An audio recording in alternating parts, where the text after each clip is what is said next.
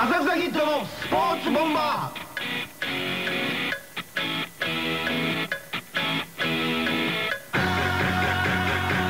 こんばんは浅草キッドの水道橋博士です。元気ですか？ターボコロ筋太郎です皆さんこんばんは。TBS アナウンサー竹内かなえですいやいやいやさあスポーツボンバーということなんですけど、はい。はい我々ね勇敢のスポーツ誌読むのも大好きなんですが、まあ東京スポーツですけどね、はいまあ報道のトスポ、連日最近スクープっていうんですかねいい記事連発してますね、まあこれ最初はね、うん。あのプロレスラーの郷龍馬さんがひったくりやってええ。捕まったっていう事件ありましたけども、その次の日ねやっぱあの極太親父っていう一面にね。あのねその極太っていう極太がすごい極太な文字で レタリングされてるんですけど、郷さんがですね生活苦のあまりですね、えそういったちょっとあの男性好きなホモビデオにですねええ出演していたと。衝撃丸出しエッチビデオでええ。そのタイトルが「極太親父」これは一面だからさ。結構そのまあまああのひったくりっていうのは良くないですし、んまあどういかがなものかっていうことプなんですけど。ロレスラーとしてねこれはないんじゃないかと思うな、ただこのタイトルには笑いました。笑ったな、ええ。まあ、このビデオ出てるの知ってたけどね僕たちもね、はいはいはい。うん、そうそう入手しようとしたけど、どう竹内さん的にはこれ極太親父、うん。と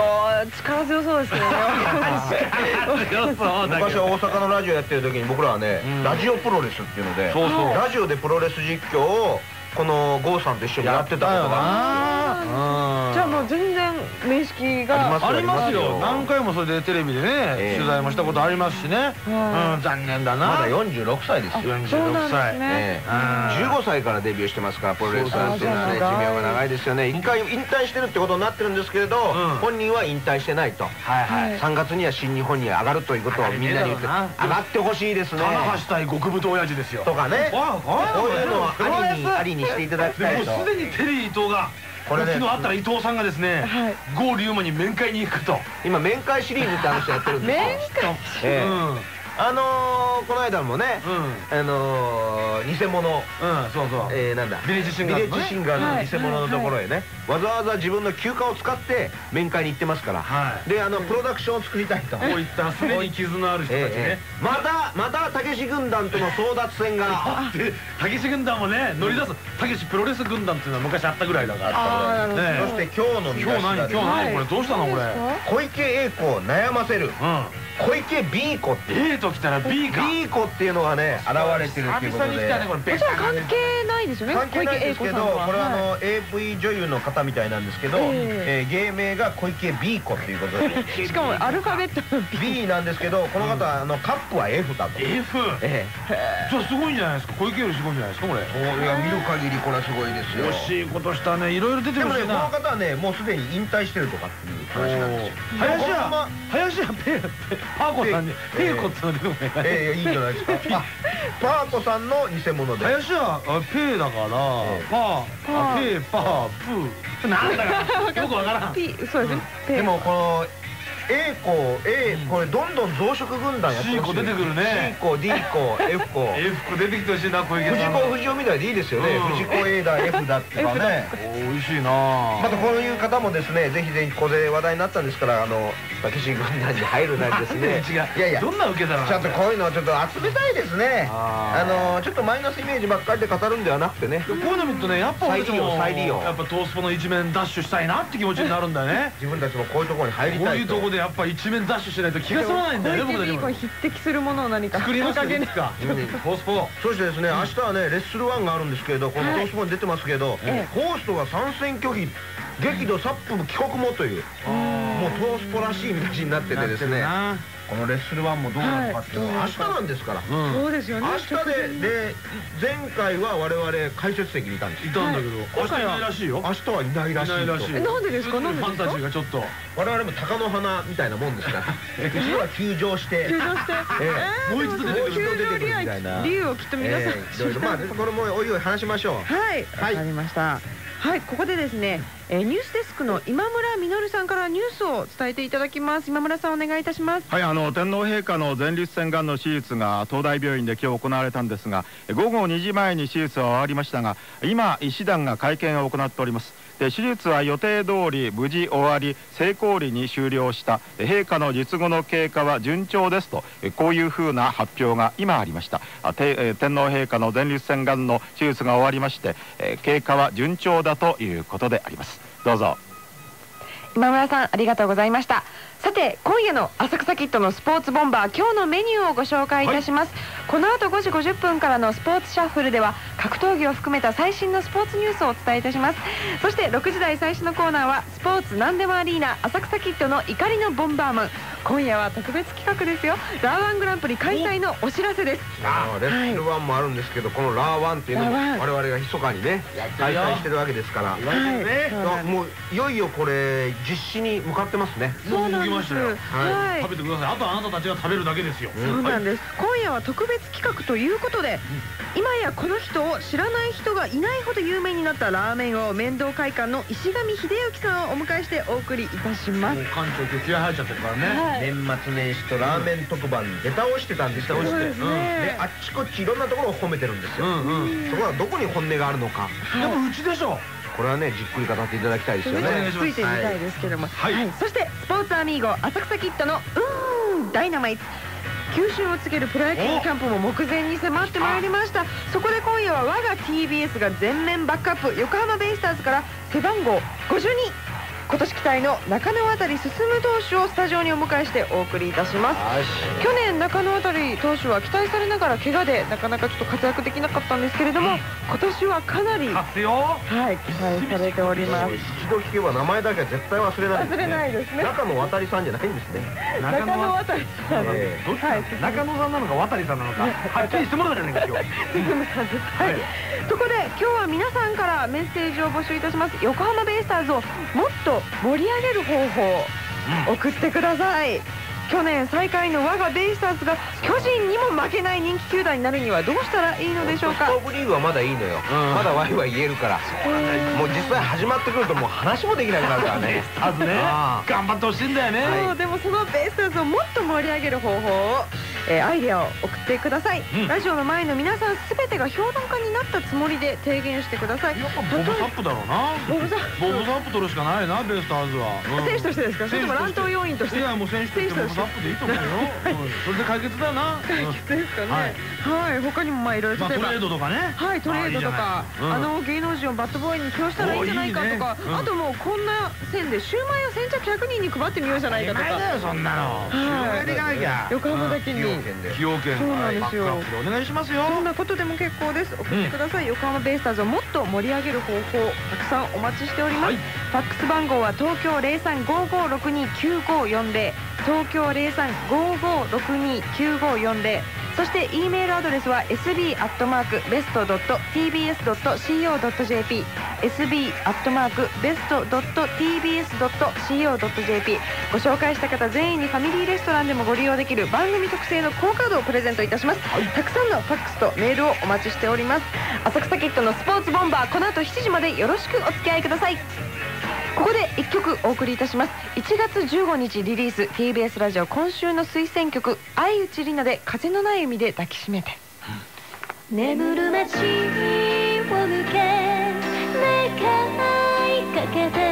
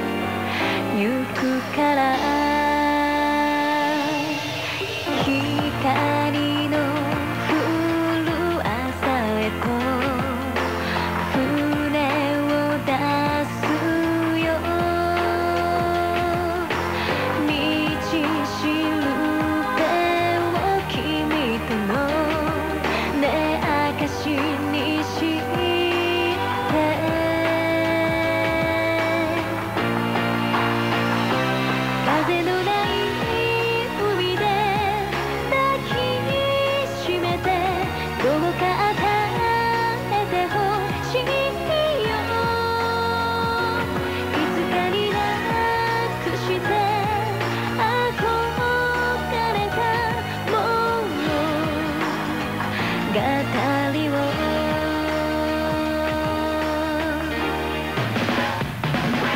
浅草キッドのスポーツボンバー。フィーチャリングかなえ。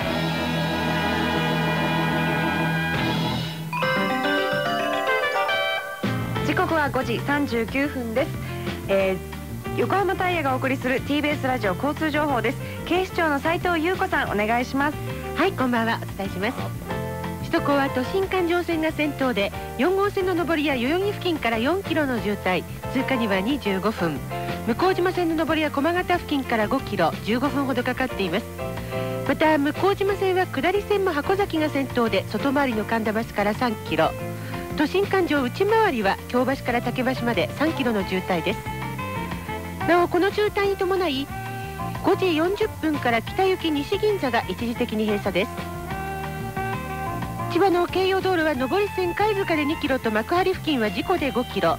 下りは船橋料金所の先で1キロと幕張で2キロです。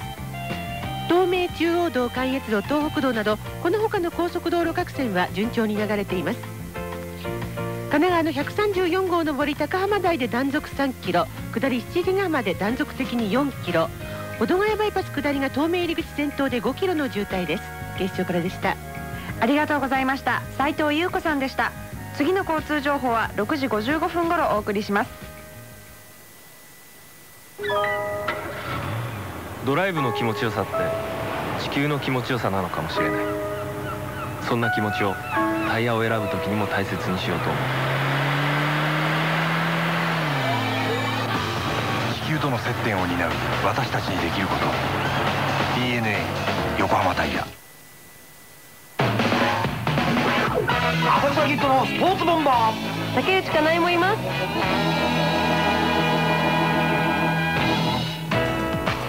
時刻は5時41分です。ここでメールをご紹介いたします。ちょうだい。千葉県船橋市の格闘技大好きさん34歳男性の方です。ありがとう。ありがとうございます19日に東京ドームで行われるレッスルワンのチケットを買うことができたのでお。友達と見に行ってきます。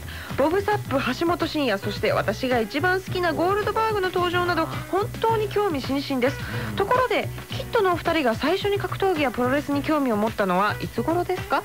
そして最も注目している選手は誰ですか？という。博士はいくつですか？僕はだってあのー、親父が見てたプロレスっていうのが記憶があって。俺もおばあちゃんだ。うん。あしかもうちは芸能界っていうかあのを見せてなかったから歌番組とかは見てなかったんで。なんかそういった教育方針だったらしいね親御さんが。特電波が出てるっていうね、うん。そうそういうそれでねあのサラリーマンとプロレスラーしか職業はないと思ってましたからね。あー偏ってますね。偏ってますね。うん。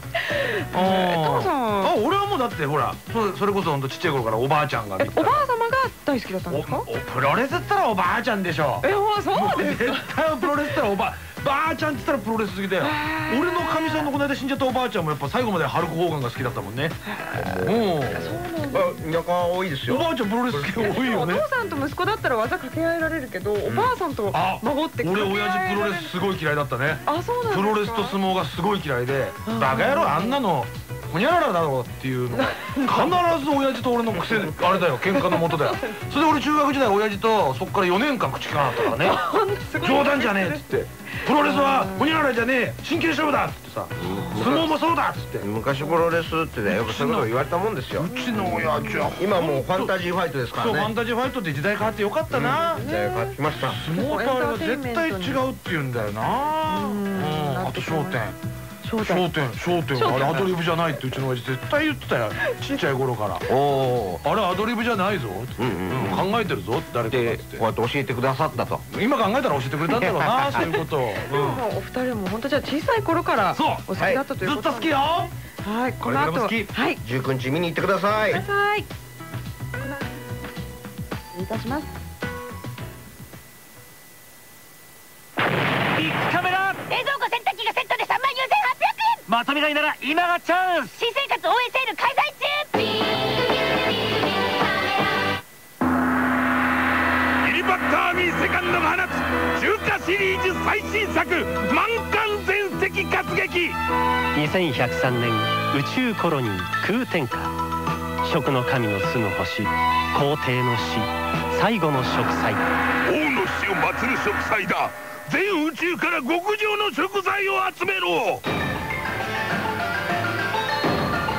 TBS ラジオ主催リリパットアーミーセカンド第40回公演空天下作演出若木 F2 月4日から9日まで下北沢本多劇場で上演。チケットは全席指定4000円でただいま絶賛発売中。お問い合わせは大阪0669443380玉造小劇店まで。1月18日ウィークエンドネットワーク。NTT コムエア郵便貯金の提供でお送りします。あなたの会社に時代の進化に取り残されたビジネスザウルスいませんか？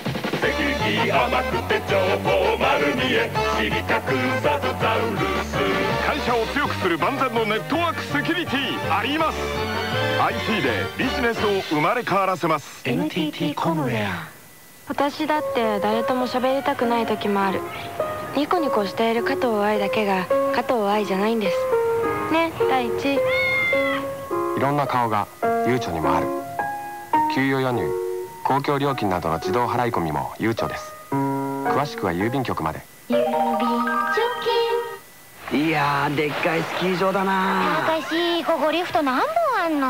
えーっと789と。ん？9と牛と牛丼。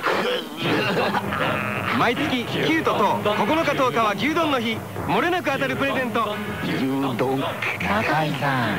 吉野家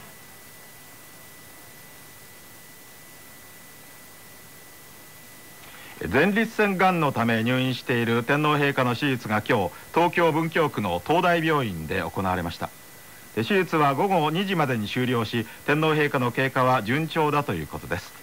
今行われている医師団の会見の一部をお聞きください。天皇陛下の前立腺全摘出手術は本日午前執刀を開始され3時間40分で無事終了いたしました。手術は順調に進み予定通りの手術ができ前立腺全摘除および両側閉鎖リンパ節。よろしいですか？覚醒は成功裏に終わりました。出血量は予定以下で輸血量もあらかじめいただいておりました。自己血で十分間に合うものでした。また術後の麻酔からのお目覚めも順調で付き添っておられます皇后陛下典宮殿下とお言葉を交わされております。医師団の会見の模様をお聞きいただきましたが天皇陛下は午前8時前に特別病室から手術室に移り全身麻酔が施された後午前9時頃から午後2時前まで前立腺の摘出手術が行われました。で手術は通常の前立腺がんの手術と変わらずがん細胞が見つかった前立腺を全て摘出するもので東大と国立がんセンターの医師の合同チームによって行われました。手術は無事終了しましたがしばらくは安静が必要なため天皇陛下は1ヶ月ほど入院される予定だということです。病室では皇后さまと典宮さまが付き添われているということです。次に民主党が党大会を開いて決闘の原点とする政権交代の実現を柱に今年度の活動方針を決めました。菅代表は挨拶で小泉政権の経済運営を厳しく批判し必ず次の総選挙で政権交代を実現するという決意のもと排水の陣を敷きできることは全てやるという覚悟で取り組むと述べております。今日のニュースをお伝えしました。ウィークエンドネットワーク。この番組は NTT コムエア郵便貯金の提供でお送りしました。こてっちゃんのもつ鍋は醤油味と味噌味。そしてビリッと辛いキムチ鍋もあるよ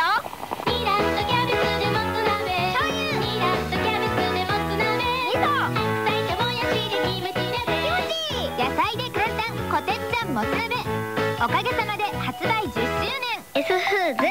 エコ。あー降ってきちゃったよ。魚一匹も釣れなかったしさ。いいの。ドライブできたから。楽しかったし。エコカーになったミニバンで出かけましょう。排出ガス75%カット。ミニバンも超低排出ガス車に。ユーレブ計画。トヨタ。エコプロジェクト。安全は威力緩み止めナットの決定版ハードロックナット。